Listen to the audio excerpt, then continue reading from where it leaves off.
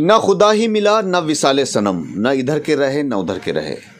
कुछ ऐसा ही वाक़ पेश आया है धामपुर में, जहाँ पर मुस्लिम फंड के लिए काम करने वाले एक व्यक्ति को अमानत में खयानत करना इतना भारी पड़ गया कि वह नौकरी से तो गया ही, पुलिस जेल भेजने की भी तैयारी कर रही है।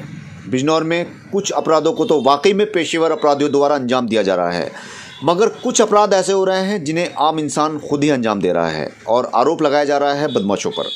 कुछ ऐसा ही वाक़ पेश आया है धामपुर में, जहाँ पर पुलिस को खबर मिली कि मुस्लिम फंड के लिए काम करने वाले एक व्यक्ति से किसी ने लाखों रुपयों की लूट कर ली। पुलिस मौके पर पहुँची और मुस्लिम फंड के कर्मचारी से पूरी जानकारी हासिल की।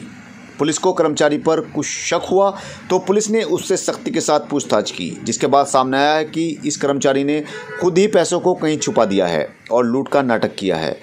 पुलिस की मामूली सख्ती के बाद ही कर्मचारी ने मुस्लिम फंड का लगभग चार लाख बत्तीस हज़ार रुपया बरामद करा दिया। पुलिस का कहना है कि कर्मचारी के विरुद्ध अग्रिम कार्रवाई की जा रही है। लगभग पौने दो बजे थाना धामपुर को सूचना हुई कि किसी व्यक्ति द्वारा कुछ अनजान व्यक्ति द्वारा एक व्यक्ति काशिफ करके हैं, उनके साथ लगभग नौ लाख की लूट जो है जैन मंदिर के पास हो गई है।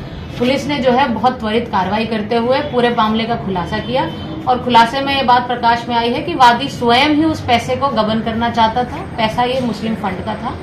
और ये जो है, आज कैश लेकर चला था अपने ऑफ़िस से। और बीच में इसने अपना, वो कैश जो है, वो छिपा दिया था।